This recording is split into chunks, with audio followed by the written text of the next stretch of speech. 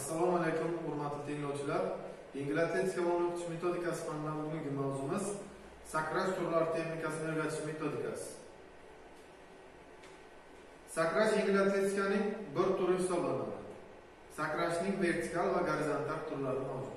Vertikal sakrashga balandlikka sakrash va langarchut bilan sakrash kirsa gorizontal sakrashga esa uzunlikka va uch xatlab sakrash turlari o'z ichiga oladi.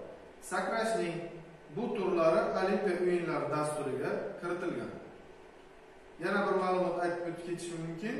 Sakrashning yana bir turi noklassik turi turgan joydan uzunlikka sakrash bu e, olimpiya o'yinlari dasturiga kiritilmagan yoki hech qanday jahon chempionati bu turdan o'tkazilmaydi. Faqatgina jismoniy sifatlarni aniqlash maqsadida turgan joydan uzunlikka sakrashni qo'llash mumkin.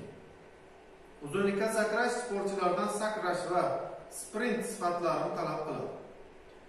Bu sport turi qadimiy qadimgi e, olimpiya o'yinlari qatoriga kirgan. Hozirgi olimpiya o'yinlariga ham e, uzunlikka sakrash turi kiritilgan. bir ming sakkiz yuz to'qson oltinchi yilda besh kurash tarkibiga erkaklar uchun kiritilgan. Yilda yildan bir ming sakkiz yuz to'qson oltinchi yildan ayollar uchun esa bir ming to'qqiz yuz qirq sakkizinchi yildan olimpiya o'yinlari dasturiga kiritilgan. Musobaqa qoidalariga atletning e, vazifasi uzoqroq sakrashdan iborat. Sakrash to'rt fazadan iborat bo'ladi. Bu birinchisi yugurib kelish ikkinchisi depsinish uchinchisi uchish fazasi va to'rtinchisi e, o'sha handakka qo'nish fazasi. Agar sportchi tomonidan bironta faza vaqtida yoki e, me'yorida bajarilmasa agar sakrash maksimal darajada ijro etilmaydi va sportchini o'zini ko'rsatgan natijasi qoniqtirmasligi mumkin.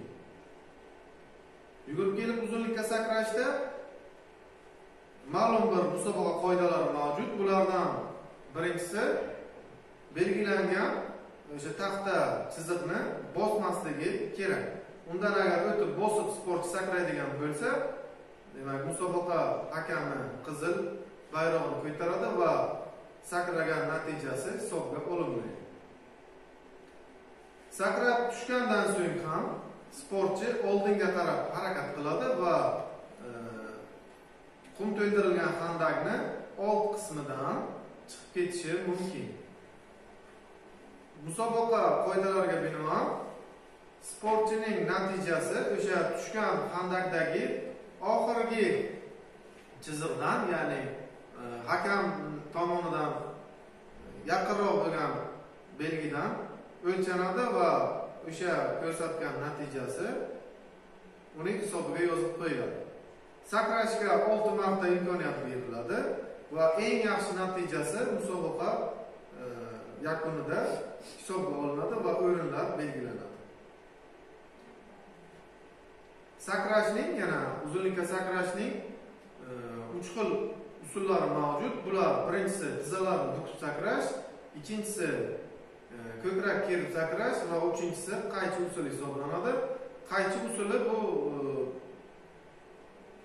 natija ko'rsatishda eng yaxshi usul hisoblanadi va bunda jahon rekordlari ham shu usul bilan sakraganda ko'rsatilgan. Balandlikka sakrash balandlikda sakrash qishki e, yozgi o'yinlarga olimpiya o'yinlari dasturiga kiritilgan erkaklar uchun bir ming sakkiz yuz to'qson oltinchi yildan ayollar uchun esa bir ming to'qqiz yuz yigirma sakkizinchi yildan olimpiya o'yinlari dasturiga kiritilgan. Balandlikka sakrash besh fazadan iborat.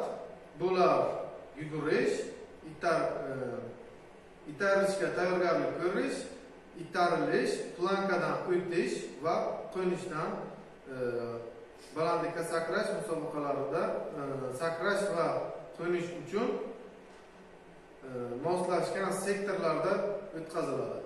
Sportchilarda har bir balandlikka e, sakrashda uch marta imkoniyat beriladi.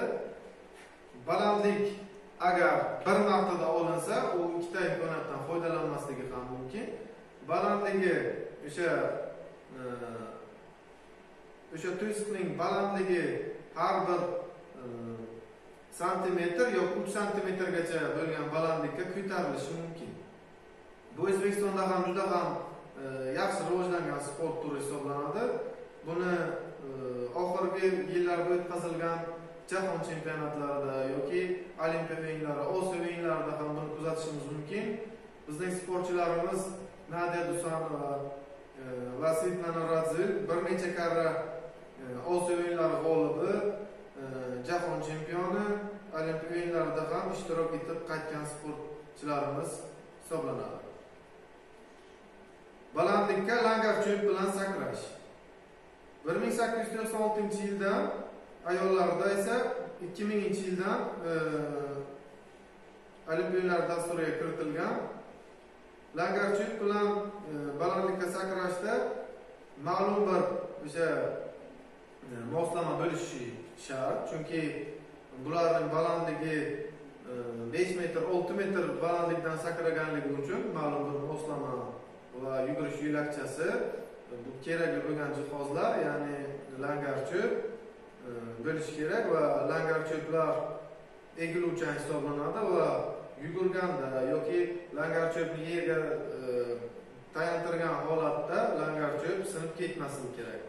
Agar sportchi tomonidan e, o'sha fazalar to'g'ri ijro etilsa langarcho'p e, sinmaydi va shikast yetmaydi sportchiga. Ayrim holatlarda bu kuzatilgan musobaqalarda langarcho'p sinib ketgan holatlar ham kuzatilgan. Bunda sportchining noto'g'ri harakati yoki o'sha langarcho'pni qo'ygandan keyin yerga tiragandan keyin o'zini itarilish o'sha ko'tarilish fazasi noto'g'ri ijro etilganligi sababli ham langarcho'p bunda sinib ketgan uch hatlab sakrash to'g'risida gapirib bermoqchiman uch hatlab sakrash uzunlikka yugurib kelib sakrashga o'xshaydi faqatgina bunda sportchi ikki qadam va uchinchi martasiga esa o'sha yamaga ya'ni o'sha xandakka borib tushishi kerak birinchi demak sportchi yuguradi. Bunda yugurgandan keyin o'sha depsinadigan joyimizdan depsinib birinchi qadam demak e, sapchish deb aytiladi. Bu sapchish oyoqdan yana qaytib oyoqqa qo'yilish masalan o'ng oyog'ida agar sport sakraydigan bo'lsa yana qaytib o'sha o'ng oyoqqa tushadi. Ikkinchisi demak qadam va uchinchi martaga kelib esa o'sha yamaga ya'ni handakka kelib tushishi kerak.